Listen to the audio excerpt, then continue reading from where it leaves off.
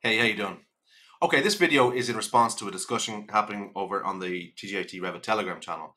Fuez posted a problem, and there's been some discussion there with uh, Akram Hugo, uh, talking about how to best uh, deal with the scenario where you've got a floor slab that penetrates through the wall structure. Okay, so you got the the wall finish in front of the slab, and how to best do that uh, and keep the continuity of the finishes and so on. Look, I'll get straight into it, but it's uh, it's it's an interesting scenario, and hopefully this is the answer to the question. Okay, all right, enjoy.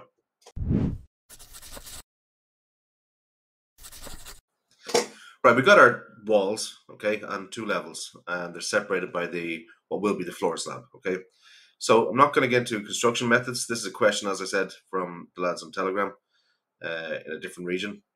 So what do we do?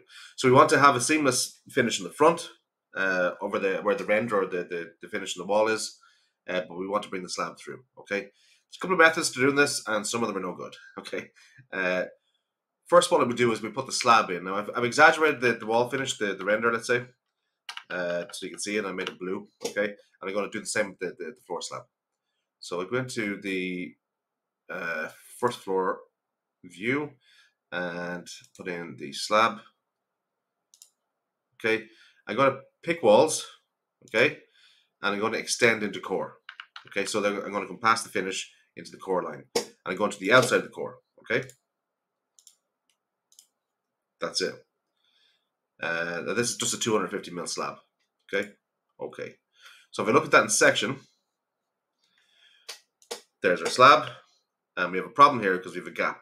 So how do we address this? How do we have a clean finish uh, with having the slab in the right place and the concrete or whatever that is for the wall in the right place and so on.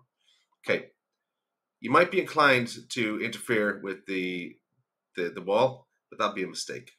I'll show you quickly what I mean by interfere with the wall so that you can then not do it. Okay, so select the wall. I should say really modify the wall. Uh, edit uh, edit the structure. You need the preview open on section. So preview and section. We'll scroll into the bottom and I'll click on modify. Okay. And I'll find that layer, which is the, the render, uh, at the very bottom of the wall, and I click it. And there's a little padlock. If I can uncheck that padlock, now that's unlocked. I can pull it down. Okay. So if I click OK and OK, I can now pull that down. And the settings are in here as well. I can see minus 250 for base extension distance. And that looks okay initially but it doesn't work. Okay, if you do this, you're going to have problems, and they don't always manifest manifest straight away. So you can have it later on, uh, where you, you, your plan views don't look right at the corners and junctions and stuff. So I just recommend you don't do it. Okay, uh, might work for you for a quick fix, but I, I, I suggest it'll give you more problems than it's worth. Right, so let's do it my way. Okay, so uh, I've got my lower floor walls coming up to the soffit. Right, so top constraint soffit, and I have the one above coming from the first floor. Okay, so uh, let's do it in 3D. Okay, so I should have undone that modify. Anyway, uh, 3D.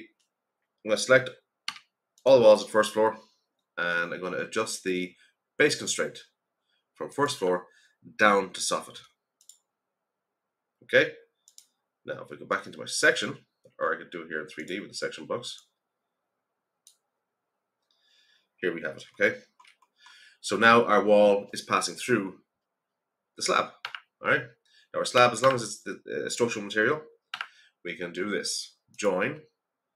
Uh, never mind that. Click the slab. Click the wall. Click the slab. Click the wall, etc.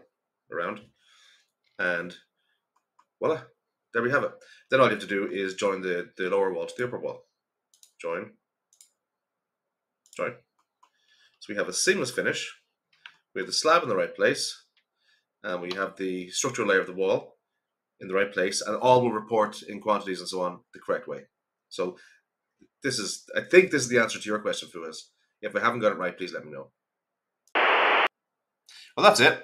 Now, I made this video specifically, as I said, for the lads over in Telegram and the, the group chat, the TG-AT Revit uh, channel chat. Uh, some questions bouncing around, so I said I'd make a video. I think it might have some, obviously, some application for others. So I hope you found it useful.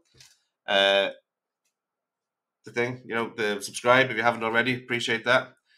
And uh, listen, like the video, get in touch, and we'll see you on the next one. Okay, thanks, guys.